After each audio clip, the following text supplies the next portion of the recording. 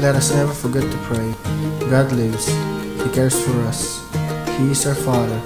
He is accessible to all who will seek Him. Back to the altar. Tonight, 7 p.m. at Cornerstone Activity Center, third level, Robinson's Nova Market.